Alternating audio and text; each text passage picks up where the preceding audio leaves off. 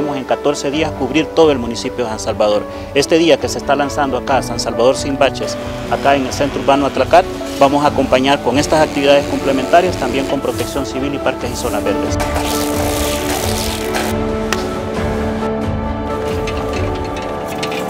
Agradecerle porque sinceramente pues vaya se ha dado este caso de que estén arreglando todos los pasajes las colonias, los llamados que hacen pues son bien magníficas porque quitan los resultados sinceramente, sí. Pues para la comunidad muy bien, porque este, a veces hemos estado otros años mucho atrás, ¿verdad? Que no, que no los habían dado este servicio y gracias a Dios este, el alcalde pues está haciendo estas obras. La verdad está muy bien, este, le va a dar, digamos,